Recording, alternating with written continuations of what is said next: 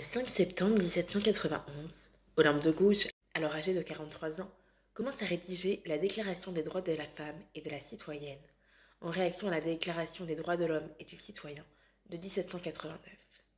Une constitution qui ignorait donc complètement la moitié féminine de la population.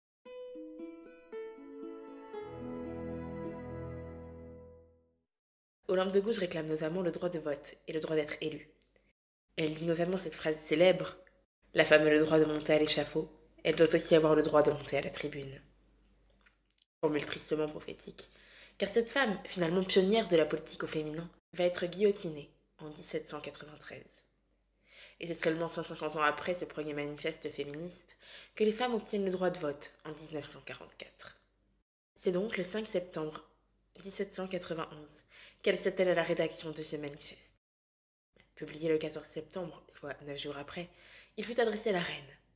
Tout premier document que nous connaissons qui évoque l'égalité juridique et légale entre les hommes et les femmes, son objectif définitif était d'être présenté à l'Assemblée législative le 29 octobre 1991.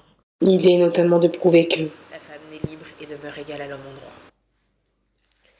Composé d'un préambule, adressé donc à Marie-Antoinette, et de 17 articles ainsi qu'un postambule, cette déclaration resta à l'état de projet. En effet, elle ne parut qu'en cinq exemplaires et a été politiquement complètement ignorée.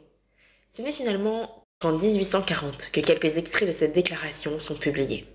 En outre, l'intégralité du texte ne l'a été qu'en 1986, par la journaliste et militante française Benoît Groux.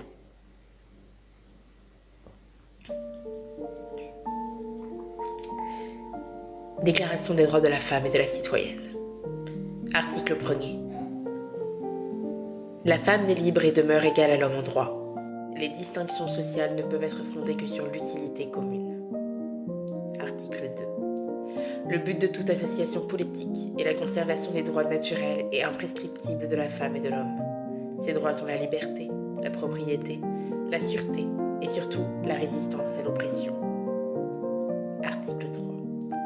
Le principe de toute souveraineté réside essentiellement dans la nation, qui n'est que la réunion de la femme et de l'homme. Nul corps, nul individu ne peut exercer d'autorité qui n'en émane expressément. Article 4. La liberté et la justice consistent à rendre tout ce qui appartient à autrui. Ainsi, l'exercice des droits naturels de la femme n'a de borne que la tyrannie perpétuelle que l'homme lui oppose. Ces bornes doivent être réformées par les lois de la nature et de la raison. Article 5. Les lois de la nature et de la raison défendent toute action nuisible à la société. Ce qui n'est pas défendu par ces lois, sages et divines, ne peut être empêché, et ne peut être contraint à faire ce qu'elle n'ordonne pas. Article 6. La loi doit être l'expression de la volonté générale. Toutes les citoyennes et citoyens doivent concourir personnellement ou par leurs représentants à sa formation. Elle doit être la même pour tous, toutes les citoyennes et tous les citoyens, étant égaux à ses yeux, doivent être également admissibles à toute dignité place et emploi public selon leurs capacités et sans autre distinction que celle de leur vertu et de leur talent. Article 7. Nulle femme n'est exceptée. Elle est accusée, arrêtée et détenue dans les cas déterminés par la loi. Les femmes obéissent comme les hommes à cette loi rigoureuse. Article 8. La loi ne doit établir que des peines strictement et évidemment nécessaires. Et nul ne peut être puni qu'en vertu d'une loi établie et promulguée antérieurement au délit et légalement appliquée aux femmes. Article 9. Toute femme étant déclarée coupable, toute rigueur est exercée par la loi. Article 10. Nul ne doit être inquiété pour ses opinions, même fondamentales.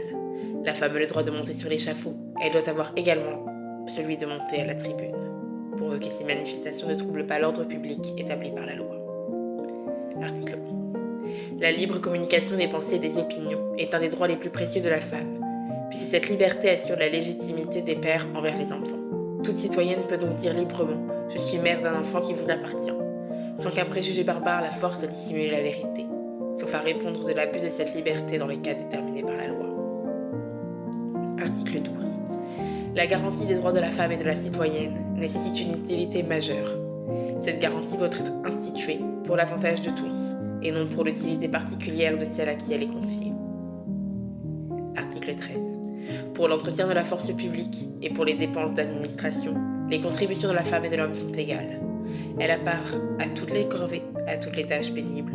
Elle doit donc avoir de même part à la distribution des places, des emplois, des charges, des dignités et de l'industrie. Article 14. Les citoyennes et citoyens ont le droit de constater par eux-mêmes ou par leurs représentants la nécessité de la contribution publique.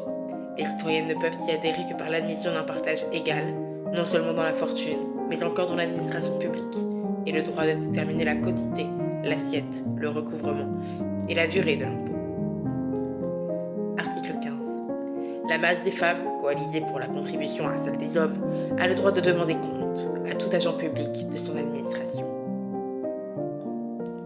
Article 16.